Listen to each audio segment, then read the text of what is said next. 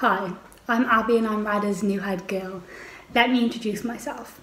I study maths, further maths, chemistry, physics and Welsh Bacc. Some of you may have seen me around the school as I coach the Year 7 netball team. I'm also captain of the school netball team and over my time at Radyr I've taken part in athletics, rounders, hockey and the school choir.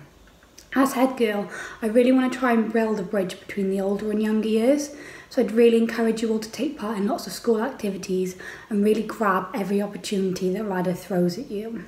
If you see me around the school, don't be scared to come and say hello and have a chat.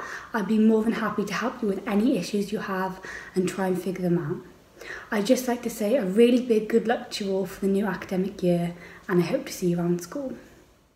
Hi Radyr, I'm Sam and I'm the new head boy for the upcoming year. I'm currently doing A levels in further maths, chemistry, and physics. Outside of school, I enjoy playing football, go karting, and spending time with my friends and family. This year, I'm looking forward to working with Abby and the rest of the senior team, but also with you as students to help make Radyr a better place for you to live and learn. If you have any questions, suggestions, or any issues that you'd like to raise, please come to myself or Abby and we'd be more than happy to help you and make your voice heard. All I've got left to say is good luck for the upcoming year. Bye for now.